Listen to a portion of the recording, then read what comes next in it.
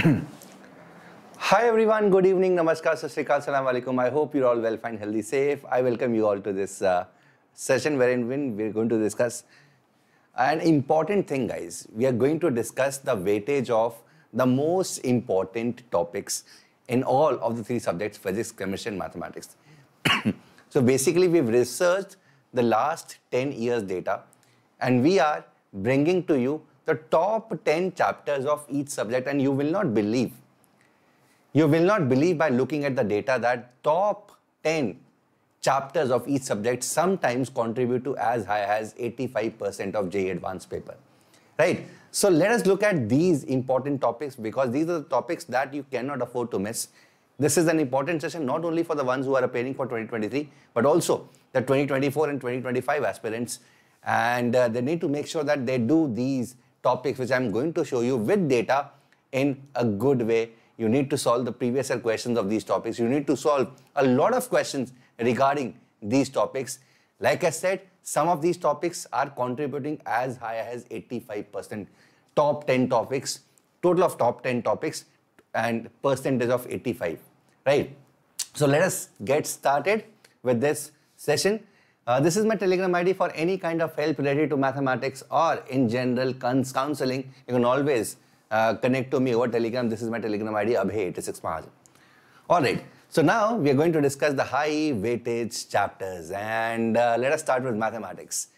Right, so this is the last 10 year data, right, from 2012 to 2022. And this, you can see the weightage of these chapters in each exam. For example, matrix and determinants 2022 was 11 percentage of mathematics paper. 11 percentage points that is huge. That is huge.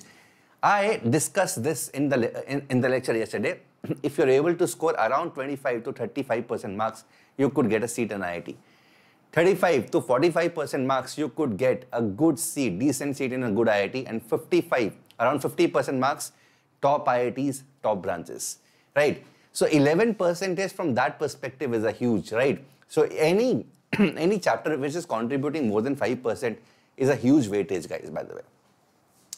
So if we talk about matrices and determinants throughout, uh, right from 2012 to 2022, the weightage has been very, very, very high. This is the first chapter that we do in class 12th, and this is having a, such a high weightage. 7% in class 12, 3% in class in, in 2020 13 in 16, it was 11%, 12% in 19, 21, it is 10%, and last year it was 11%. If we talk about trigonometry, again, trigonometry is too has a very high. So these are the topics that we generally tend to ignore. Right? Matrices is easy. Why do it?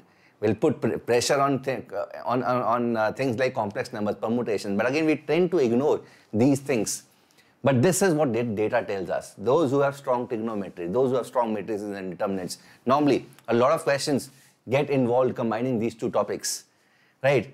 They are able to do really well. So trigonometry, it was 11% last year, guys. 11% last year, 10%. So normally it is always, you know, above 8, barring 2017 and 2012, which was 3% in both the cases, right? Otherwise, trigonometry has been having a heavy, heavy, heavy weightage followed by probability and probability is again one topic that we do not pay much attention to because of the simple fact that this is generally the last topic that we discuss in class 12th. And by the end of class 12, there's a huge pressure, you know, of uh, uh, revising things because JEE Mains one first attempt is on the cards in a few months from now.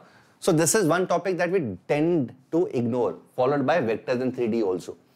So vectors, 3D, probability, these are the three topics which generally are done in the last but these are very high and that is the reason a lot of students are not able to do these topics in the very proper way and they're not able to attempt these questions in JEE Advanced but they again have super high weightage.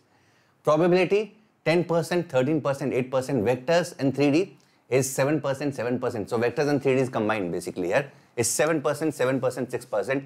Complex numbers 8%, 6%, 5% last three years, right? if we talk about definite integration, so in integral calculus, Definite integration is something which is having a very high weightage. 6% last year it was, last to last year 15%. 15% questions from, from definite integration. AOD, permutation combination circles and fundamentals of mathematics are general questions on mathematics uh, which are not typically from any lecture but apply logic. right? So this has been, these are the top 10 lectures, top 10 chapters. Now, if you count the total number of chapters in mathematics, there are around 30, around 30, including class 11 and class 12 topics. And I am giving you top 10, that is one third of those topics, one third of those topics, which ideally should contribute 33%. But these 10 topics are contributing as high as 65% marks in one paper. 82% marks. These 10 topics, 82% marks in 2021. 55, 78% marks in 2019, 74. So that means, that shows that these are very important topics and you cannot, cannot, cannot ignore these topics, guys. Right? So if we talk about class 12th topics, matrices and determinants, probability, uh, vectors and 3D, definite integration, AOD. So these are all class 12 topics. These are the topics that you need to put a lot of attention to particularly the topics which are covered at the end, which is probability, vector 3D. Because you tend to ignore these topics because the syllabus is about to complete it, get completed, and you're mostly, mostly focusing on, you know, first attempt of JEE mains, that is to revise the chapters of class 11th and class 12th, right?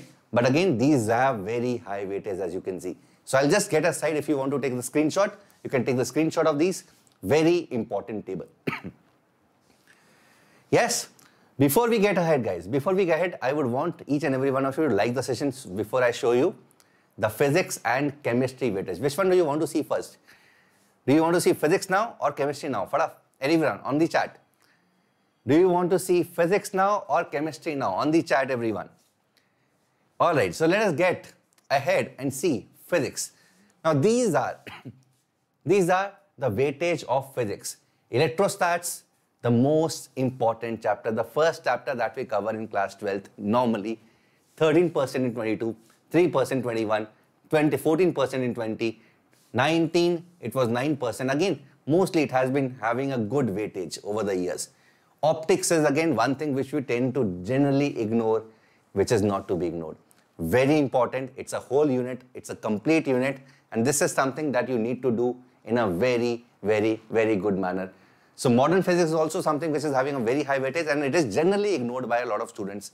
Modern physics, 13%, 11%. So again, this percentage has always been very high, always. So modern physics is something that you cannot, cannot, cannot ignore, guys. So this is something which is to be done. Current electricity, rotation, capacitance, KTG thermodynamics, SHM waves. So these are good chapters. These are very important chapters and some of these chapters at times have been contributing as high as 75% in 22. Top 10 chapters out of almost 30 chapters, 29 to 30 chapters in physics in class 11th and 12th, top 10 chapters have been contributing to as high as 75% of the total paper in physics. This shows the kind of importance we need to pay in these chapters. We need to solve a lot of questions. We need to start from the basics. We need to do previous year questions, particularly JEE Advanced of these topics. Right, so this is very important. I hope this is clear. So in 2015, it was 79%, but most of the years, it has always been crossing 50%. 50% always been crossing. So 10 chapters contributing 50% of the marks. If we talk about chemistry, again, chemistry is normally evenly spread because there are three units, physical, organic and chemistry. So these are the topics that you can always note. So this is aromatic compounds, uh, generally 9 to 10%. P block elements 8, 7, 8, 5, 6%. Coordination compounds, right? So again, this is very random. Electrochemistry is 7 to 8%, you know, every year almost. Metallurgy, 3, 3, 6, 6. Uh, uh, chemical equilibrium, this is uh, one important unit which I still remember. Chemical and ionic equilibrium. 5%, 3%, 9%, chemical bonding is 3%. You know, so this is more or less evenly spread, right? But again, these 10 top, uh, topics are very important because lately these 10 topics have been contributing more than 50%. Sometimes, of course, the contribution is as low as 30% also. But lately, these topics have started contributing in JEE Advanced. You can see the trends. So 58%, 51%, 52%, 38%, 64%. So I hope this is clear and you can again take the screenshot of chemistry to, to tell you that how important these chapters are, right? So all you need to do is you need to write down these chapters. This is for 24 and 25 especially because 23 there's hardly any time. But again, what you can do is if there is something which is missing in these chapters, if you think that some of these chapters you need to put in some effort, so these are again very crucial 15 days, 14 days for you. And again, you can note down these chapters because all of these, all of these chapters are really important and they've been contributing a lot in JEE paper lately, right? So these 15 days, if any of these topics is particularly weak, you can focus on these. How you can focus? You can take out the notes, uh, do uh, a lot of questions, basically the question that you have discussed for these uh, the particular chapters, and also very important. The third point is previous year questions of JEE Advanced because that is going to give you contribute uh, uh, give you a fair bit of idea that how do you stand in these topics. All right, guys. So this was uh, all about it, and I wanted to keep it short. I hope this information is, uh, you know, uh, good for you.